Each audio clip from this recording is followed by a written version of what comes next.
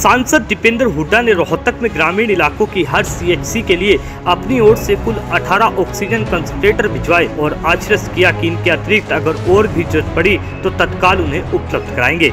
दीपेंद्र हुड्डा के निर्देश पर रोहतक ज़िले में हर जगह कम से कम दो ऑक्सीजन कंसेंट्रेटर और किसी किसी सीएससी में आवश्यकता अनुसार तीन ऑक्सीजन कंसेंट्रेटर वितरित किए गए हैं। अब तक Sampla CSC Kiloi CSC Madina CSC Lakhan Majra CSC Kalanaur CSC Chiri CHC Kanhor CHC में ऑक्सीजन कंसेंट्रेटर सौंपे जा चुके हैं और कल तक महम सीएचसी में भी ये पहुँच जाएँगे। इस प्रकार सिर्फ़ रोहतक में करीब 18 ऑक्सीजन कंसेंट्रेटर बांटे जा चुके हैं और इस क्रम को जारी रखते हुए पूरे प्रदेश में इनका वितरण किया जा रहा है। इस दौरान प्रमुख रूप से विधायक शकुंतला खटक, बलराम दांगी, पूर्व मुख्यमंत्री चौधरी भूपेंद्र सिंह हुड्डा के निजी सचिव पंडित राज बहादुर संतलाल वधवा जगत कला आदि मौजूद रहे। दीपेंद्र हुड्डा पूरे हरियाणा के ग्रामीण, आंचलों और छोटे कस्बों की सीएचसी में ऑक्सीजन कंसेंट्रेटर पहुँचाने की मुहिम में लगे हैं। उन्होंने प्रदेश के स्वास्थ्य सचिव और विभिन्न जिलों के मुख्य चिकित्सा अधिकारियों से बात करके ऑक्सीजन कंसेंट्रेटर की आवश्यकता की जानकारी ली। स्वास्थ्य अधिकारियों ने हर ज़िले के हिसाब से ग्रामीण और छोटे कस्बों की सीएससी के लिए प्रदेश में कुल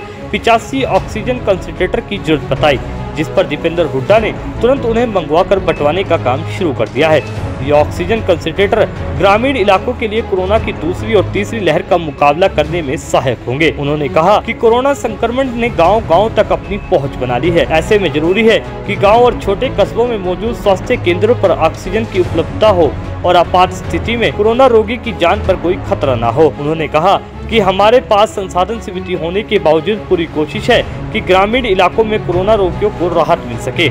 सांसद दीपेंद्र हुड्डा खुद पिछले दो महीने से हरियाणा के अलग अलग जिलों में टीम दीपेंद्र के हज़ारों साथियों के साथ दिन रात लगकर कोरोना पीड़ितों को मदद पहुँचा रहे हैं। कोरोना की दूसरी लहर के दौरान लोगों को ऑक्सीजन, दवाइयाँ और इलाज के अभाव में दर दर भटकना पड़ रहा था। तब प्रदेश के हर ज़िले में मौजूद टीम दीपेंद्र के वॉलंटियर किसी को अस्पताल में बेड दिलाते तो किसी मरीज़ के लिए ऑक्सीजन सिलेंडर की व्यवस्था कराते तो कहीं जिला प्रशासन से मदद लेकर लड़कर जीवन रक्षक दवाइयों, प्लाज्मा का इंतज़ाम कराते। अब कोरोना गाँव गाँव में फैल चुका है तो टीम दीपेंद्र ने गाँव में आइसोलेशन वार्ड बनाने का सैनिटाइजेशन कराने, घर पर आइसोलेशन में कोरोना का इलाज करवा रहे रोगियों और अस्पताल में भर्ती मरीजों के परिजनों के लिए भोजन का इंतज़ाम कराने में जुटे हुए हैं। इस पूरे काम की मॉनिटरिंग खुद सांसद दीपेंद्र हुड्डा करते हैं और जहाँ कहीं ज़रूरत पड़ती है तो प्रशासन के अधिकारियों ऐसी बात करके समस्या का समाधान कराते हैं। हल्ला बोल, हरियाणा।